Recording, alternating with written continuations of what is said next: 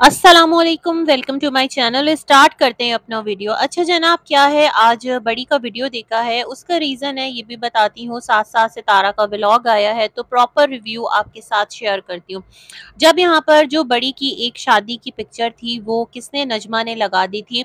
Trunk से निकाल कर तो बड़ी जो है, बहुत ज़्यादा नाराज़ हुई थी और आई थी अपने चैनल पर। इस चीज़ को उन्होंने पब्लिकली कंडेम किया था और अपनी जो आ, क्या कहते हैं ननद है ना उसको खरी खोटी सुनाई थी। साथ साथ जिन यूट्यूबर्स ने उनकी इस पिक्चर को यूज़ किया था, अपने थंबनेल्स पर उन्हें भी वार्न किया था। तो मैं सोच रही थी, अब जो बड़ी की पिक्चर लीक हुई है यहाँ, वहाँ पर, जिसको लेकर लोगों ने बातें की है तो इस पर भी आकर बड़ी कुछ बड़ी बड़ी बातें करेंगी। तो दैट्स द रीज़न मैंने कहा, चलो भाई, इनका क्या पॉइंट ऑफ़ व्यू है, इसे सुन लेते हैं। क्योंकि ये क्लैरिफाई कर चुकी थी ना, एक बार जो इनकी शादी की पिक्चर नजमा ने लगा दी थी, उसमें तो काफ़ी दुपट्टा वगैरह सब कुछ कैरी किया हुआ था, लेकिन ये जो पिक्चर है, ये तो खैर बहुत ज़्यादा अल्ट्रा मॉड है। नॉर्मल है, कोई ऐसी बेहयाई भी मैं नहीं कह सकती। मतलब रेगुलर यहाँ पर बहुत सारी खातन ऐसी ड्रेसिंग करती भी हैं, लेकिन फिर भी इनका जो एक अपना अटायर है, जो ये पहन के आती हैं, जो इनका ड्रेस कोड है, जिस तरह ये खुद को एक प्रॉपर रेडी करती हैं अपने व्लॉग के लिए, उसके अगेंस्ट है तो मैंने सोचा शायद कि ये इस बात को क्लियर करें, इस चीज़ को क्लियर करें दैट्स द रीज़न मैंने इनका व्लॉग देखा। अच्छा जनाब, एक सीन बड़ा इनके व्लॉग में वेयर्ड है। यहाँ पर मैं कहना ये चाहती हूँ, भाई, आपका घर है, आप अपने घर में डेली काम करती होंगी तो क्या जो ट्वेंटी आवर्स आप अपने घर के काम करती हैं तो आप ये नमाज़ चादर चादर कैरी करके रखती हैं। इट्स इम्पॉसिबल ना, जो आपका रेगुलर ड्रेसिंग होगी, घर में जो भी आप वेयर करती होंगी, आप वही पहनती होंगी। तो स्पेशली मुझे लगता है आपको व्लॉग के लिए एक्स्ट्रा एफर्ट और मेहनत डालना पड़ती है। अब जैसे कि आपने यहाँ पर दिखाया, आप अपना फ़ैन जो है सीलिंग फ़ैन वो साफ़ कर रही थी तो क्या ये ज़रूरी था सरतापा खुद को दिखाना, दोनों हाथ उठाए हुए हैं और नीचे से ऊपर तक आपको शूट किया जा रहा है? बहुत ज़्यादा वो एक वियर्ड जा रहा है, चाहे आप अबाया में हो, चाहे आप नमाज़ चादर में हो, चाहे आप नॉर्मल रेगुलर ड्रेस में हो, काफ़ी वियर्ड लग रहा है क्योंकि नीचे से ऊपर आपको शूट किया गया है। तो भाई अगर आपको पंखे साफ़ करते दिखाने हैं, इस चीज़ को अपने व्लॉग में ऐड करना है तो ज़रूरी नहीं कि आप खुद को दिखाएँ, आप सिर्फ़ अपने हैंड्स भी दिखा सकती हैं फैंस को भी कैप्चर कर सकती हैं। हर काम के लिए पूरा पूरा खुद को कैप्चर करना, ये एक चीज़ जो है ना, मेरे ख्याल में आप पर एक्स्ट्रा बर्डन है, जो कि आपने लिया हुआ है क्योंकि आपको खुद को दिखाना है व्लॉग्स के अंदर। दैट्स द रीज़न अदरवाइज़ बहुत सारे लोग जो हैं, वो व्लॉगिंग कर रहे होते हैं, जहाँ पर उन्हें खुद को नहीं दिखाना होता। वहाँ पर सिर्फ़ घर के काम दिखा देते हैं। जैसे खाना बन रहा है, जैसे किचन में है, जैसे सफ़ाई कर रहे हैं तो वो काम नज़र आता है, लेकिन करने वाला जो वो खुद होती हैं, वो नज़र नहीं आती, खुद को कैप्चर नहीं करती।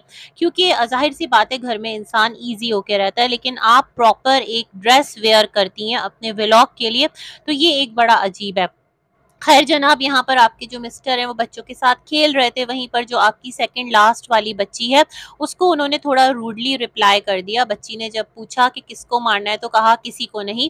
तो इस चीज़ को आपकी ऑडियंस ने नोट किया और आपकी ही ऑडियंस आपको कह रही थी कि बच्ची के साथ जो है वो आ, सही बिहेव करें उसे इतना इग्नोर मत करें। मतलब ये सवाल आपने भी यहाँ पर आ, उठा दिया। अब ये आपने डेलिबरेटली किया है या फिर अनइंटेंशनली अनइंटेंशनली किया है ये तो अल्लाह बेहतर जानता है।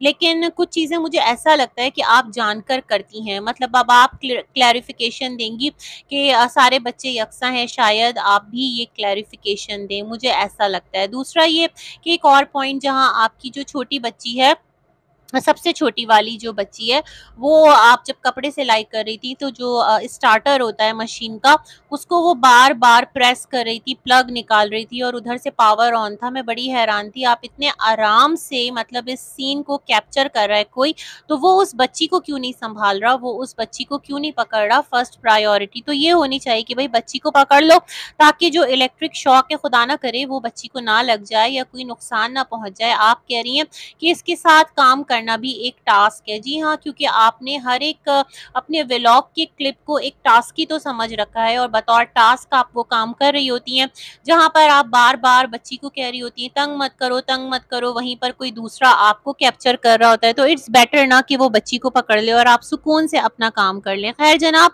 ये सारी चीज़ें बहुत ज़्यादा ऑब्वियस थी आपके व्लॉग से तो मैंने बयान कर दी और जो मुझे लगा वेयर्ड आपका बिहेवियर आपकी तरफ़ से नो एक्सप्लेनेशन अदरवाइज़ आप आपने कितना नजमा को आ, कहते हैं ना बिन बोले ही सुना डाला था और अपने सपोर्टर्स को आपने ढूंढ डाला था। तो ये वाली चीज़ है। खैर जनाब आगे बढ़ते हैं। सितारा की व्लॉग की जानब चलते हैं। तो जो सितारा हैं वो लाहौर होटल में उन्होंने स्टे किया था। मैं समझ रही थी शायद उनकी लाहौर में कुछ एक्टिविटीज़ होंगी थोड़ा स्टे करेंगी उसके बाद वो इस्लामाबाद आएँगी विलेज वगैरह से होते हुए। लेकिन नहीं भाई वो तो डायरेक्ट लाहौर से उन्होंने अपने सिटी का जो सफ़र है वो स्टार्ट किया। अच्छा यहाँ पर जो अरशद नदीम है पाकिस्तान ओलंपिक्स में, जिन्होंने गोल्ड मेडल विन किया, उसको भी कॉन्ग्रेट्स किया। मुस्तफ़ा ने थोड़ी हिस्ट्री बताई ओलंपिक्स की और साथ ही साथ यहाँ सितारा ने अपने दोनों बच्चों से जो बिहेवियर है, यानी कि पेरेंट्स का कि आपको ज़्यादा चाहते हैं या आपको ज़्यादा नहीं चाहते, इस चीज़ को कैप्चर किया। अब इस चीज़ को कैप्चर करना चाहिए था या नहीं कैप्चर करना चाहिए था? सवाल ये उठता है। देखें इसके दो रीजंस हैं। कैप्चर मैं समझती हूँ किया अच्छा किया। इसके दो रीज़न है। एक रीज़न ये है कि जो सितारा का कमेंट बॉक्स है ना वो काफ़ी टाइम से मैं देख रही थी। लोग कह रहे थे आ, कि जो तैयबा है, उस पर आप फोकस किया करो, उस पर आप अटेंशन दिया करो, उसको भी प्यार किया करो। हेटर्स और ये सारे तो बोलते रहते हैं, लेकिन सितारा के इवन कमेंट बॉक्स में उनके देखने वाले उनसे इस चीज़ की डिमांड कर रहे थे। तो इसलिए मैं समझती हूँ कि ये चीज़ सितारा ने अपने व्यूवर्स के लिए कि। दूसरा एक मोटिवेशन मिला या इंस्पिरेशन मिला या एक अच्छा जो लेसन है, वो यहाँ से ये जाता है कि आप अपने बच्चों से इस चीज़ को पूछते रहा करें कि आपको ऐसा तो कभी नहीं लगता बेटा कि मैं आपको ज़्यादा प्यार करता हूँ या करती हूँ या आपको ज़्यादा प्यार करती हूँ? मतलब एक ये वाला जो यहाँ से मैसेज है ना पेरेंट्स के लिए, एक अच्छा मैसेज वो भी जाता है, इसको इस तरह से भी देखिएगा। तो मैं ये चीज़ जो है ना, इसको इस नोट पर देख रही हूँ कि सितारा ने सही किया, क्योंकि सवाल किए जा रहे थे सितारा से तो इट्स बेटर कि सितारा ने बच्चों से ही ये चीज़ जो है वो पूछ ली और एक अच्छा मैसेज किया कि बच्चों में और जो पेरेंट्स हैं उनमें बहुत ज़्यादा गैप नहीं होना चाहिए और इतनी आज़ादी और इतना एक ताल्लुक स्ट्रॉन्ग होना चाहिए कि माँ बाप को बेझिझक जो बच्चे हैं वो बता सकें। तो ये वाली चीज़ है, यहाँ से ये लोग वापस निकलते हैं एक पॉइंट पर जाकर यहाँ पर जब वापसी का सफ़र होता है तो इन्होंने नाश्ता वगैरह किया। ज़ाहिर सी बात है, पाकिस्तान तो पाकिस्तान है और सीरियसली मुझे सितारा का जो ये व्लॉग है ना, ये सितारा के मलेशिया, थाईलैंड, दोनों व्लॉग से ये व्लॉग बहुत ज़्यादा अच्छा लगा। मुझे इतना एक लाइवली लगा। डोंट नो इसका रीज़न क्या था। शायद कि अपना मुल्क अपना मुल्क होता है और अपना मुल्क सबको पसंद है। यहाँ से तारा बार बार यही कह रही थी कि दुनिया में कहीं पे भी चले जाओ, जो पाकिस्तान है, उसको जो है हम मिस करते हैं। पाकिस्तानी या फिर और भी दीगर मुल्कों के रहने वाले हों, सितारा सेट की जिनकी मजबूरी है, उनकी तो चलो मजबूरी है। तो बिल्कुल ऐसा ही है। तो बिल्कुल ऐसा ही है जो अपना मुल्क है, वो अपना मुल्क होता है और उस जैसा सुकून आपको दुनिया भर में नहीं मिल सकता। यस, हम घूमने फिरने जाते हैं, चीज़ों को देखते हैं एक्सप्लोर करते हैं। वो एक अलग आपका अफेक्शन होता है, लेकिन जो अपने कंट्री की बात है, वो अपना कंट्री है। फिर ये लोग लौट कर जब आए, इस्लामाबाद अपने घर तो वहाँ पर इनका वेलकम किया गया। कौसर थी, अनीता, रमज़ान, इनके जो एक भाई साहब हैं, उनकी मिसेज उनकी फैमिली बहुत अच्छा लगा, सारे खुश थे। और जो कौसर थी वो भी मिली अपने हस्बैंड से। और एक अफेक्शन नज़र आई दोनों के दरमियान और सितारा ने कैप्चर किया। बहुत थोड़ा बहुत ज़्यादा कैप्चर नहीं किया इन सब चीज़ों को। सितारा मिली इब्राहिम से। सितारा मुझे बहुत प्यारी लग रही थी। खुश मतलब जितना वो ट्रिप पर जाते हुए और ट्रिप पर मुझे एक्साइटेड नज़र नहीं आ रही थी ना, उतना मुझे वो सितारा अपने घर आकर वो खुशी, वो प्लेजर मुझे बच्चों के चेहरे पर भी नज़र आया, सितारा के चेहरे पर भी नज़र आया। ज़ाहिर सी बात है जो देसी लोग होते हैं ना, वो कभी भी जो अपने घर का, अपने मुल्क का सुकून है ना, उन्हें कहीं मिल ही नहीं सकता। एक और चीज़ यहाँ कहना चाहूँगी, मुझे सितारा की बहुत अच्छी लगी।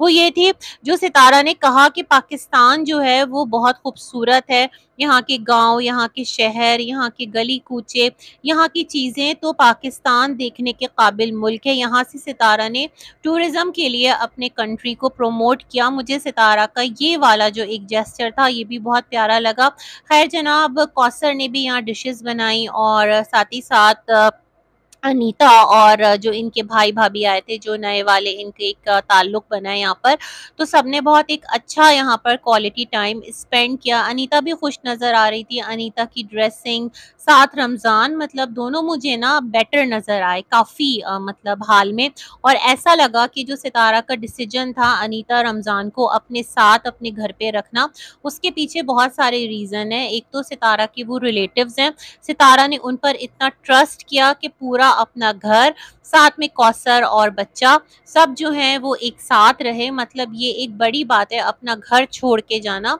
इसलिए सितारा उन्हें हाउस हेल्प नहीं कहती है बल्कि अपना रिलेटिव बताती है, अपना मामूज़ाद भाई और उसकी बीवी और बच्चे। और जिस खुशी से ये सारे बच्चों से भी मिले मुझे बहुत अच्छा लगा। तो ये ओवरऑल सितारा का ब्लॉग मुझे बहुत अच्छा लगा और साथ ही साथ जो एंड में सितारा ने एंड किया ना, जो एक अपना बेडरूम है वाक़ईतन और सितारा का घर बहुत नीट एंड क्लीन, बहुत साफ़, बहुत सिमटा हुआ और बहुत एक वहाँ पर सब कुछ नज़र आ रहा था जैसे वेल मैनेज किया गया है सितारा के पीछे और अनीता वग़ैरह सब बहुत मिस कर रहे थे। तो ओवरऑल सितारा का ब्लॉग मुझे बहुत अच्छा लगा। बहुत सारी दुआएँ सबके लिए। अल्लाह हाफ़िज़।